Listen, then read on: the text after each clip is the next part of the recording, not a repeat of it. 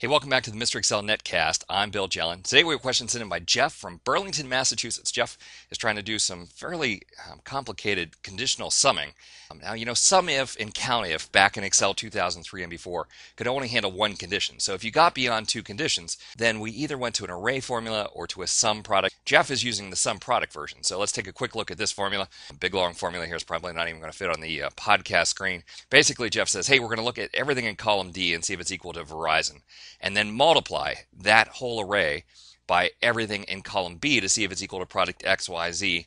And then if it is, use the corresponding value from F2 to F564. And what we get when we hit Control Shift Enter is we get the conditional sum.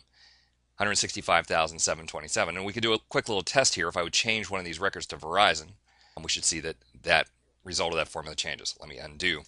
Okay, now um, Jeff says, well, this is fine, but now I need to add some ors in. I need to see if it's one particular customer or another customer, or one particular product or another product. Well, when you take a look at this formula, the multiplication sign right here, this multiplication sign between the the two conditions is basically like an and.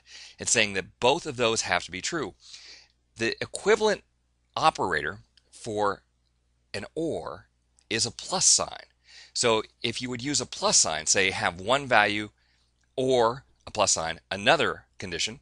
So let's say that you would use one condition, then a plus sign, meaning or, and another condition. You could actually build very complex conditional sums that basically do both ands and ors. So I rewrote the formula here.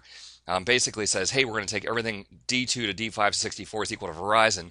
That's in parentheses plus, in other words, or if D2 to D566 is equal to Ford, then go ahead and use F2 to F564. Now, Jeff, you can make this as complicated as you want with multiple levels of parentheses. I know that you also wanted to use another value. And so here we could then add another multiplier that would say times, let's say B2 to B564 is equal to XYZ.